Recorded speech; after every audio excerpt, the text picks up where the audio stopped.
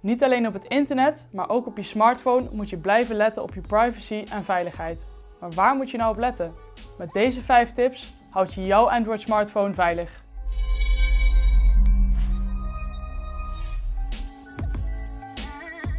Hoewel veel fabrikanten hun software-updates niet langzamer kunnen uitrollen, zijn er gelukkig wel regelmatig beveiligingsupdates. Deze bevatten geen nieuwe features of verbeteringen, maar helpen wel om veiligheidslekken te dichten of bugs te verhelpen. Je hoeft ook niet over een speciale Android-versie te beschikken om een beveiligingsupdate te krijgen. Wel is het nog maar de vraag hoe de fabrikant van jouw smartphone ermee omgaat. Google en Nokia brengen iedere maand zo'n update uit, terwijl andere fabrikanten dat eens in de 2-3 maanden doen. Play Store zit bomvol met leuke en handige apps, maar niet alles is even betrouwbaar. Regelmatig duiken er gevaarlijke apps op. Zo willen kwaadwillende betaalgegevens bemachtigen of malware en virussen verspreiden via jouw smartphone. Maar hoe weet je nou of een app gevaarlijk is of niet? Gebruik vooral je gezonde verstand. Check op rare afbeeldingen, vage teksten, slecht Engels of Nederlands en vergeet vooral ook niet om de reviews te checken. Dan weet je zeker dat je de officiële app in handen hebt en kun je hem gewoon downloaden.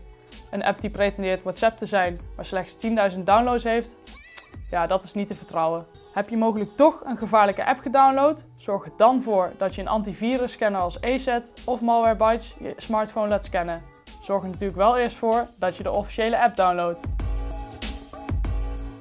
Wanneer een zaklamp-app vraagt om permissie voor het versturen van sms-berichten, kan je hem maar beter weigeren. Ook een nieuws-app heeft echt geen toegang nodig tot je microfoon. Weiger zulke toestemmingsvragen gerust, ook bij twijfel. Zulke permissies zorgen ervoor dat kwaadwillenden zomaar mee kunnen kijken, luisteren of via jouw telefoon spam-sms'jes versturen. En dat wil je natuurlijk niet.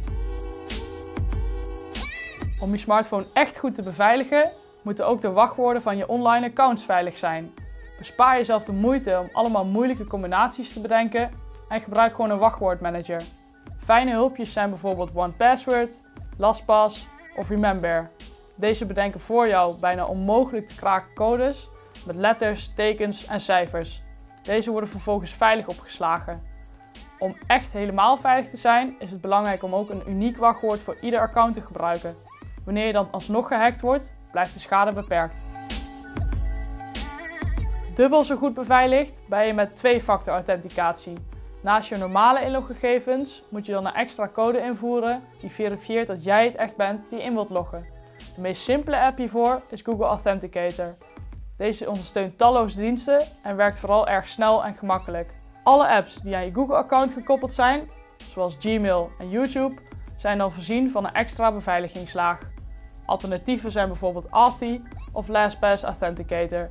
Fijn aan deze apps is dat ze synchroniseren met al je andere apparaten. Handig wanneer je net een nieuwe smartphone hebt, hoef je niet alles opnieuw in te voeren. Wil je nou meer beveiligingstips? Ga dan naar androidplanet.nl. Hier blijf je op de hoogte van het laatste nieuws, tips en reviews. En voor meer video's abonneer je natuurlijk op ons YouTube kanaal.